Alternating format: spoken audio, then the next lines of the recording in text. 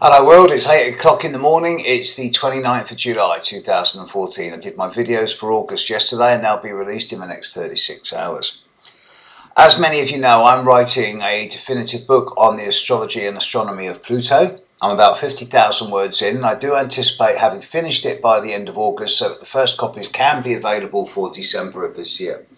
But in that writing, not only has it been a journey of self-discovery in that I've used Pluto's transformative energies to regenerate, transform and rebirth ideas about myself, but the whole process has taken on a life of its own. And in that light, I need to throw some just from realizations that you people out there and ask you for what you think is going on because I haven't got a clue.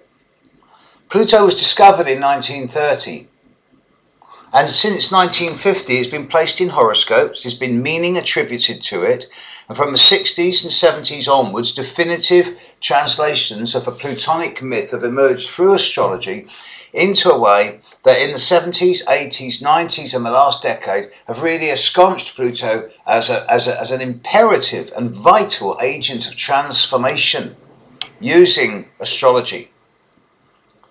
But Within the last few years, satellite technology, telescope technology, we've proven, first of all, that Pluto is not a planet.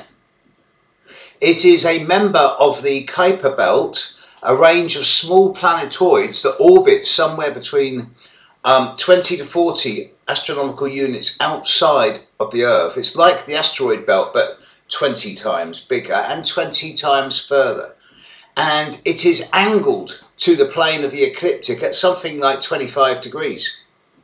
So Pluto only is on the same level as all the other planets for perhaps five or six years, twice every 250 years.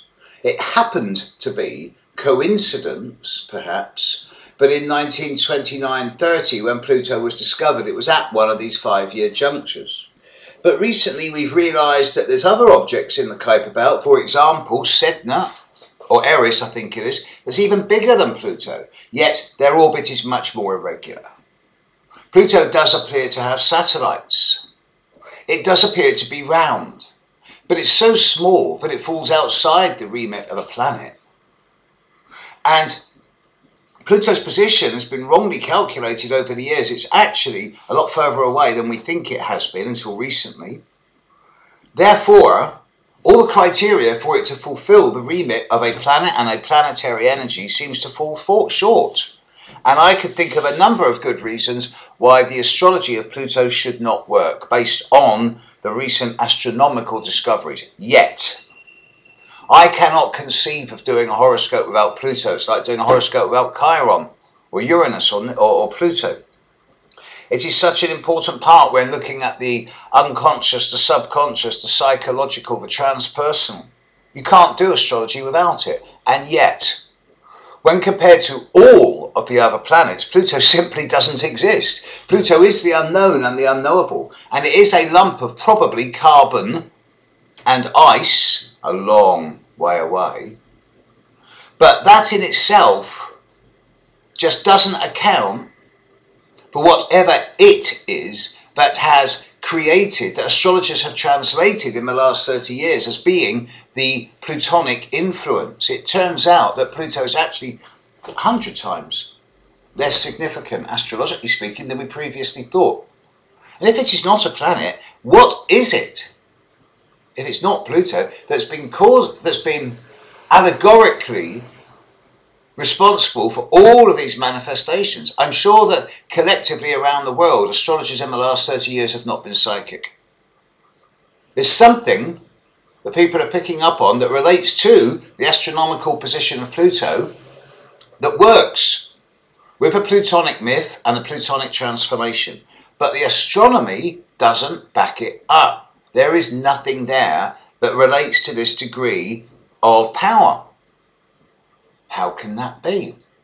Now, I'm really wrangling with this. I'm writing two chapters on this at the moment, and it is about the very nature of astrology. It is about the self suggestive capacity of humanity. I'm wondering if I'm beginning to talk myself into believing that astrology actually is a, is a fool's game. And of course it's not because I've been studying it 35 years. But I'm really trying to redefine boundaries here. So any suggestions on the nature of the unknown, the dark, the unknowable, the Hadean would be most welcome. Catch you later, folks. Bye.